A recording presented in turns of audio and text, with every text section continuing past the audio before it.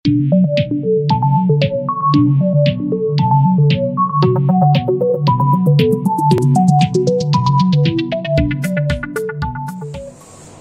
selamat pagi semuanya. Hari ini kita akan membahas beberapa soal PR yang kemarin, latihan 1-2.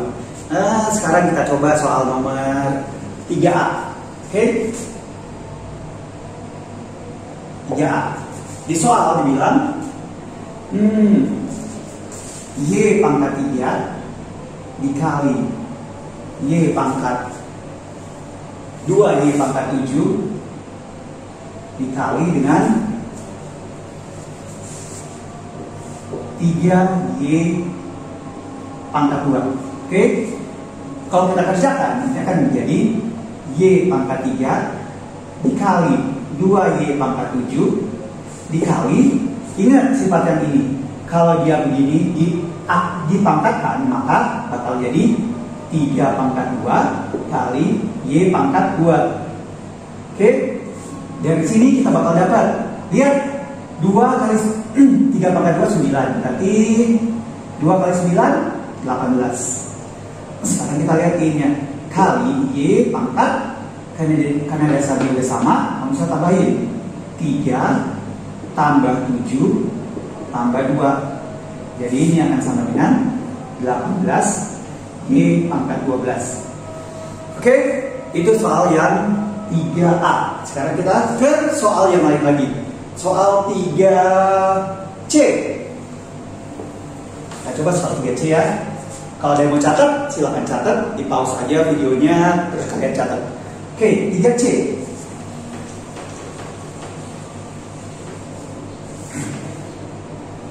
Soalnya adalah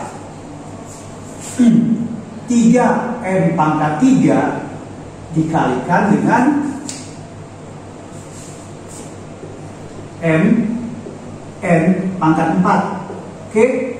Ini itu akan sama dengan 3M pangkat 3 Dikali Ini M pangkat 4 Kali N pangkat 4 Jadi lihat yang dasarnya sama yang mana M dasarnya sama berarti 3 M pangkat 7 Kali N pangkat 4 Oke sekarang kita coba yang 3 3E. Oke. Catat ya, ini dicatat. 3E. Hmm. 3E. 3E itu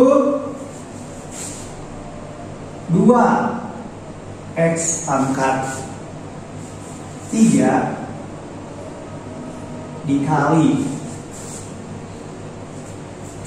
3 dalam kurung X pangkat 2 Y kali Y pangkat 2 dipangkatin 3 kalikan 5 Y pangkat 5 Y pangkat 4 Oke, sekarang kita lihat. Sederhanakan ya. 2 X pangkat 3 dikali. Lihat tiganya itu nggak dalam kurung. Berarti kita nggak usah pangkatin dengan ini. Yang yang dipangkatin itu dalam kurungnya.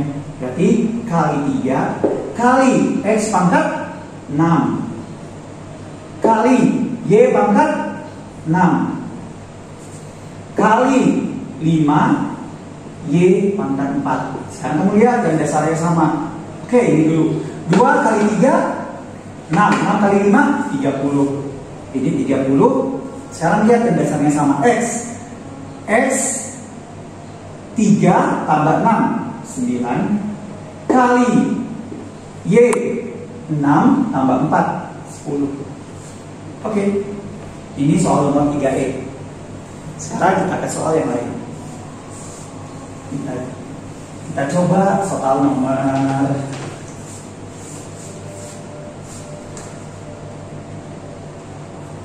Oke, kita coba soal nomor nomor 4B. 4B. 4B soalnya kayak gini.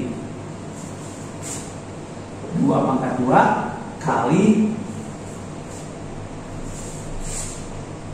1 pangkat 6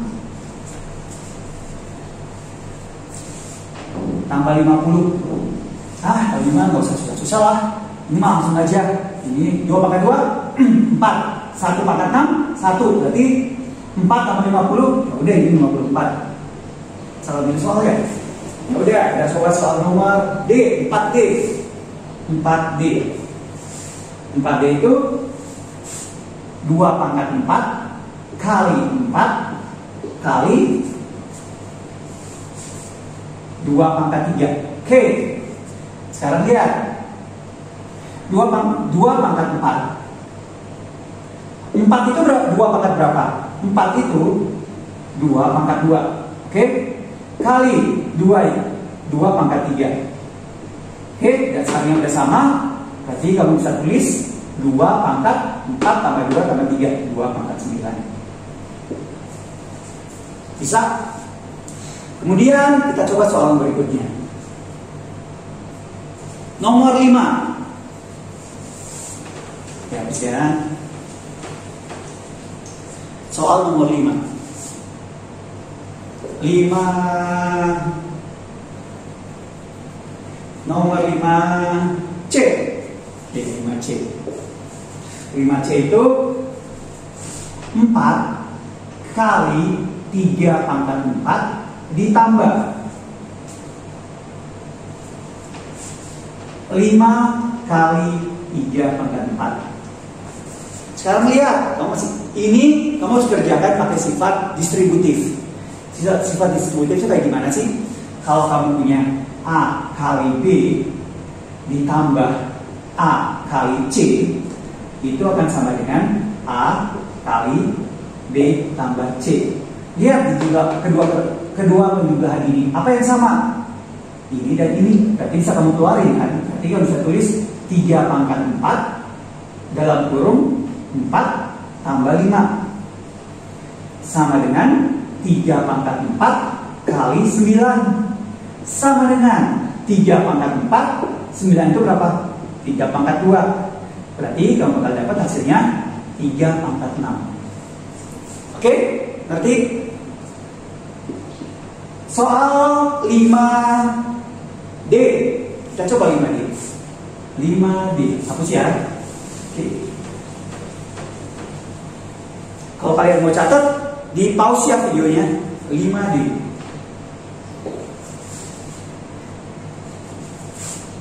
Min 125. Oke. Kali min 5 pangkat 6. Oke. Sekarang ini, kalau ada kayak gini, pada bisa tulis gini. Min 1 kali 125. Oke. Min 1 kali 125, min 125. Oke. Dikali dengan min 5 pangkat 6. Kalau kamu punya bilangan negatif, kamu pangkatin dengan bilangan genap, maka hasilnya akan sama dengan 5 pangkat 6. Oke, sekarang lihat, ini akan sama dengan min 1 kali 125 itu 5 pangkat berapa? 125 itu 5 pangkat 3 dikali 5 pangkat 6 berarti kamu bakal dapat min 1 kali 5 pangkat 9 atau sama dengan min 5 pangkat 9 oke? Oh iya bedain ya. Min 5 pangkat 9 dengan min 5 dipangkatin 9 itu beda. Oh dalam kasus ini sama. Cuman kalau umpamanya kamu punya min 5 pangkat 2 itu nggak akan sama dengan min 5 dipangkatin 2 ini itu artinya min 5 kali 5 ini itu akan sama dengan artinya dengan min 5 kali min 5 jadi hati-hati dipangkat kayak beginian ya oke soal berikutnya. Soal nomor nomor 6 bagian D. Oke. 128 per 3 Oke. Sekarang ini.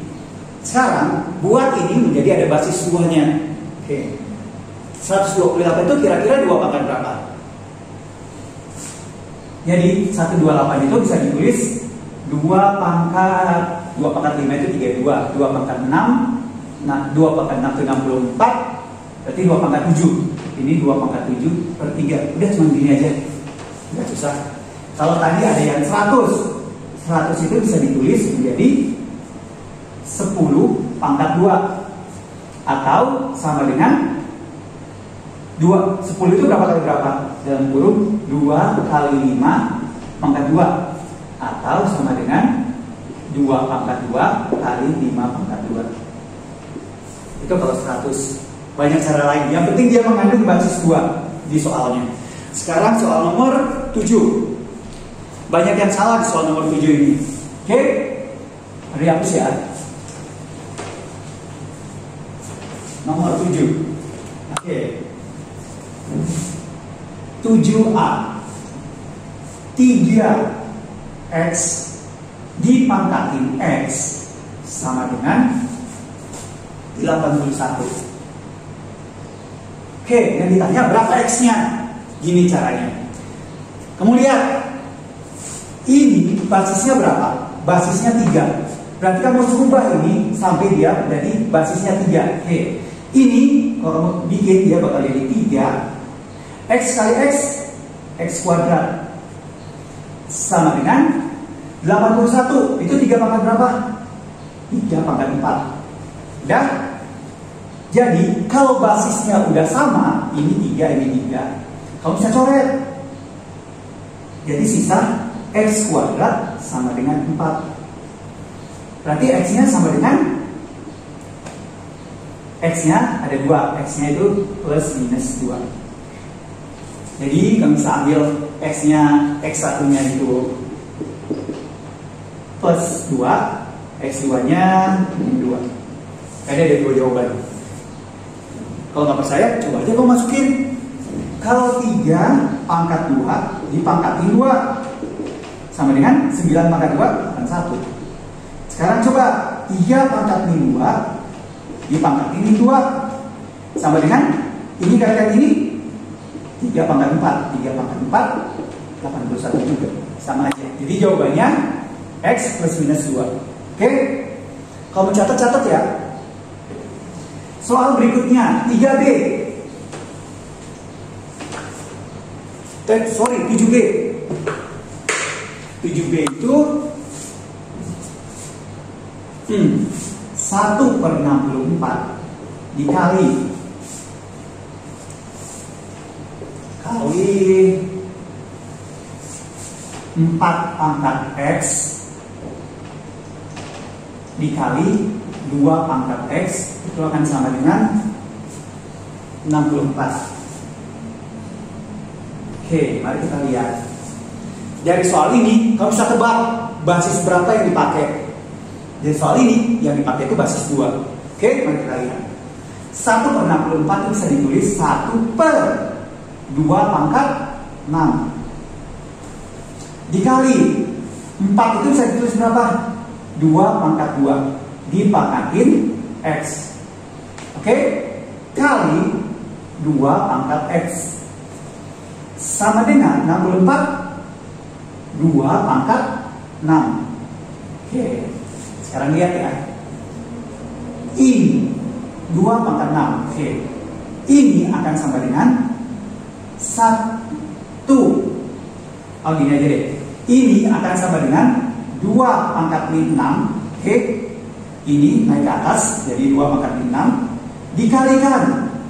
Kalau kamu punya dapat ini jadi 2 pangkat 2x Oke uh, Dikali 2 pangkat x Sama dengan 2 pangkat 6 Oke Sekarang lihat Basisnya udah sama Berarti di sini bakal jadi 2 pangkat min 6 tambah 3x. Oke, 2x tambah x 3x. Sama dengan 2 pangkat 6. Lihat, basisnya udah sama, berarti bisa kamu coret. Dan berarti min 6 tambah 3x sama dengan 6. Artinya 3X sama dengan 6 tambah 6 3X sama dengan 12 X sama dengan 4 Udah, ini sedikit pembahasan tentang soal PR kemarin. Oke, terima kasih